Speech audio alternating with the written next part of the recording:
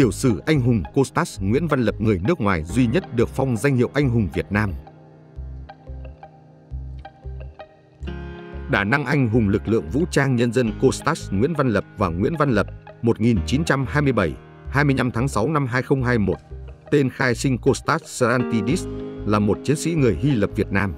Ông là người nước ngoài duy nhất từ trước tới nay được phong tặng danh hiệu anh hùng lực lượng vũ trang nhân dân của Việt Nam. Ông lá chiến sĩ Việt Nam mới, người Hy Lạp duy nhất từng hoạt động trong lực lượng Việt Minh thời chiến tranh Đông Dương. Sau 1954, ông từng bị khai trừ khỏi Đảng Lao động Việt Nam vì không chấp nhận tái hôn với vợ cũ. Năm 1965, ông trở về Hy Lạp và sống tại đó đến khi qua đời. Sau khi về nước, ông tích cực vận động người Hy Lạp ủng hộ Việt Nam. Ông đã vài lần về thăm Việt Nam và có nhiều đóng góp cho quan hệ giữa hai nước. Ngày 9 tháng 11 năm 2010, Chủ tịch nước Việt Nam công nhận ông là công dân Việt Nam. Tháng 5 năm 2013, Chủ tịch nước đã phong tặng danh hiệu anh hùng lực lượng vũ trang nhân dân Việt Nam trở ông. Tiểu sử, thuở nhỏ, Kostas Sarantidis có tài liệu chép là Kostas, sinh năm 1927 trong một gia đình công nhân ở Saloniki, Hy Lạp. Khi 16 tuổi, ông BIDUC quốc xã Bát đi lính và đưa sang Đức. Ông trốn thoát và sống tạm trên những chuyến tàu qua lại biên giới Nam Tư Hy Lạp. Sau khi chấm dứt Thế chiến thứ hai, vì không có giấy tờ tùy thân nên ông không thể trở về Hy Lạp. Bị đưa vào trại tập trung tại Ý, đầu năm 1946, ông xin gia nhập quần Lê Dương Phập và được đưa SANGDONG Dương theo sứ mệnh giải phóng các dân tộc tại đây, giải giáp quân phát xít Nhật, tham chiến tại Việt Nam. Đơn vị ông được tàu chiến đưa DNSAI gọi nối sau đó lên xe lửa đi ra miền Trung. Ngay những ngày đầu đến Việt Nam, ông đã chứng kiến nhiều hành động tàn ác của quân Pháp đối với người dân bản xứ. Ông nhận ra quân Pháp chỉ là kẻ xâm lược nên nảy sinh ý định đào ngũ sang lực lương Việt Minh. Ông kể lại, chúng tôi không tham gia vào nhiều trận đánh ở miền Nam. Các binh sĩ được lệnh đi càn và đốt phá để chứng tỏ bản thân mình cứng rắn. Tôi muốn bỏ hàng ngũ vì không thể chịu đựng thêm nữa khi ngày cuối cùng tại đơn vị. Tôi tận mắt chứng kiến cả trung đội hãm hiếp một thiếu nữ 14 đến 15 tuổi, đóng quân Bình Hòa, Mũi Né, Bình Thuận. Người trực tiếp giúp Kostas Sarantidis về vòi Việt Minh là nữ tình báo Mai Lê. Bố mẹ Mai Lê là những người yêu nước, tham gia kháng chiến và đã hy sinh. Mặc dù còn rất trẻ, nhưng Mai Lê và một số bạn học đã rời thành phố, tham gia kháng chiến. Kostas Sarantidis gặp Mai Lê khi cô đang là vợ của thiếu úy Kristen Nis, một đồn trưởng tại Phan Thiết. Ông đã được Mai Lê móc nối với cơ sở cửa Việt Minh. Sau đó, nữ tình báo này bị lộ và bị giặc hành quyết vào tháng 7 năm 1946. Sự hy sinh thầm lặng của Mai Lê khiến Kostas Sarantidis khâm phục. Khi thời cơ đến, vào lúc 2 giờ sáng ngày 6 tháng 4 năm 1946, ông đào ngũ khỏi đội quân Lê Dương Pháp để ra vùng tự do ở Bình Thuận, rủ thêm một lính Lê Dương khác là Santo Merinos, quê ở Tây Ban Nha, cùng đi. Ông còn giải thoát cho 25 người tù khác, mang theo một khẩu súng máy Bren và hai khẩu súng trường, hai hộp lựu đạn và một thùng đạn. Tại khu kháng chiến, lực lượng Việt Minh mà ông gặp chỉ có trang bị rất thiếu thốn, ba khẩu súng hỏa mai của Pháp với độ dài khác nhau. Các sĩ quan đeo súng ngắn, một số chiến sĩ mang theo dao, kiếm hoặc dùng súng ngắn rất cũ. Ông đã tặng lại số súng đạn mang theo. Các chiến sĩ Việt Nam rất vui mừng vì có vũ khí kiểu mới nên đã giết thịt một con bê để chiêu đãi. Ông được đặt tên Việt Nam là Nguyên Văn Lập và chính thức gia nhập quân đội nhân dân Việt Nam, là một trong những chiến sĩ Việt Nam mới. Còn người bạn Santo Merinos đi cùng ông được đặt tên là Nguyễn Văn Vĩ, sau này hy sinh năm 1951 tại chiến trường Lào, giai đoạn những năm 1946 đến 1948 điều kiện sống hết sức khắc nghiệt. Ông kể, chúng tôi được cấp khẩu phần ăn 800g mỗi ngày. Nếu mua được rau thì tốt, còn không chúng tôi cố gắng tìm thứ mang tên rau tàu bay. Đó là nguồn cung lương thực duy nhất cho toàn quân. Khẩu hiệu kháng chiến của Việt Nam tương đồng với người Hy Lạp, đó là tự do hay là chết. Khi tham gia Việt Minh, ông hoạt động trong các đơn vị chính quý khu 5. Ở chiến trường Quảng Nam, Đà Nẵng, ông được giao công tác địch vận, phát thanh vào đồn quân Pháp gọi hàng được 40 lính Lê Dương bỏ hàng ngũ của Pháp và cứu sống được 120 người bị địch bắt. Ông cũng từng cùng đồng đội bắn rơi một máy bay Moran Sonieva bắt sống 3 phi công Pháp ở GANGA Phú Cang, Quảng Nam. Ngày 13 tháng 4 năm 1948, đơn vị ông chống càn tài hương An Bà Rén, tiêu diệt 200 quân đối phương.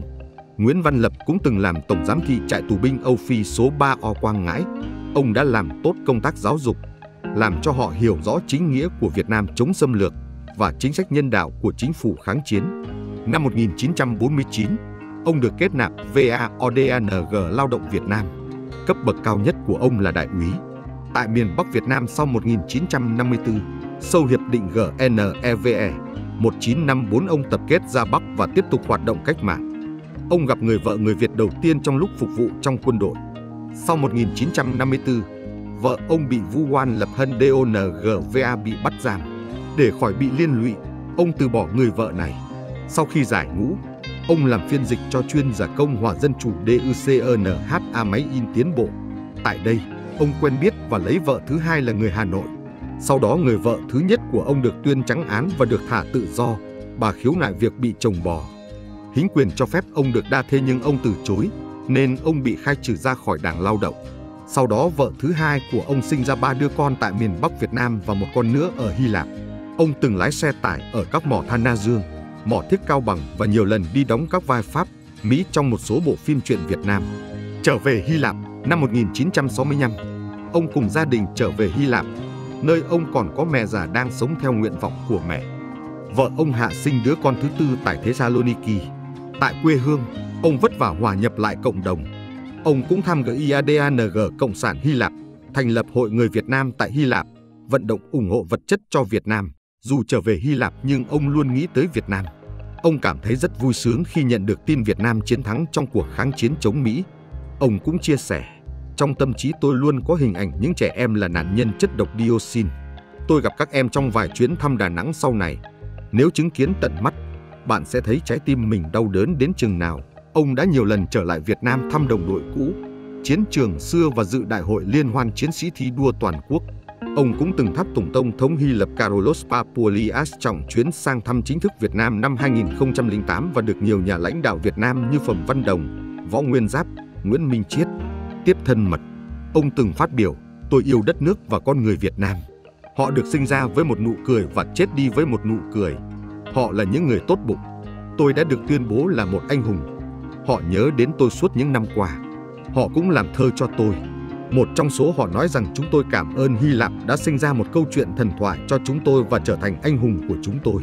Năm 2014, ông trả lời phỏng vấn, không ai biết về định mệnh của mình. Nếu không tham gia binh đoàn Lê Dương, không tới Việt Nam và không gia nhập Việt Minh, tôi sẽ trở thành người như thế nào?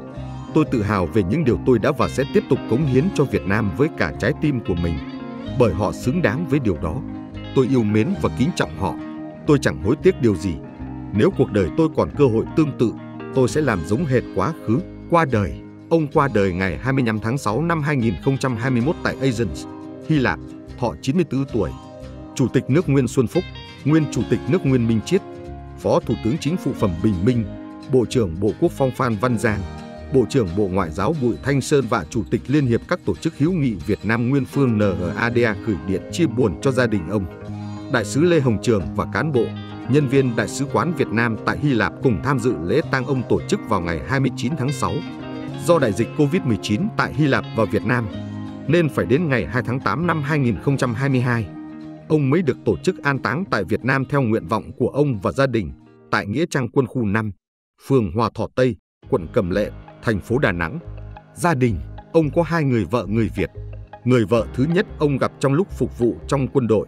Ông bỏ bà sau khi bà bị cáo buộc lập hân DONGVA bị bắt giam. Sau đó ông kết hôn với một cô gái Việt Nam từng là Đỗ Thị Trung. Họ có bốn người con.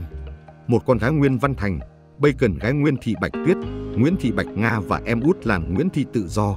Ông cho rằng tên người con út cũng chính là một ý nguyện trong suốt cuộc đời ông, đấu tranh không mệt mỏi CHODOC lập và tú do. Khen thưởng, nhà nước Việt Nam đã tặng ông nhiều phần thưởng cao quý như huấn chương chiến công hằng nhất, huân chương hữu nghị. Ngày 9 tháng 11 năm 2010, Chủ tịch nước Việt Nam Nguyên Minh Chiết Cô quyết định công nhận ông là công dân Việt Nam theo nguyện vọng của ông. Tháng 5 năm 2013, Chủ tịch nước Trường Tấn Sang Kỳ quyết định tặng danh hiệu anh hùng lực lượng vũ trang nhân dân Việt Nam trở ông. Cuộc đời ông được đạo diễn Zenith Chit Đắt dựng thành bộ phim tài liệu dài 88 phút Việt Costas Citizenship Undefined, tạm dịch. Ông Costas Việt Nam, quốc tịch chưa xác định, sản xuất năm 2012. Bộ phim được trao giải nhất tại Liên hoan phim tài liệu lần thứ 6 của Hy Lạp diễn ra tại thành phố Chan Kỳ Đà.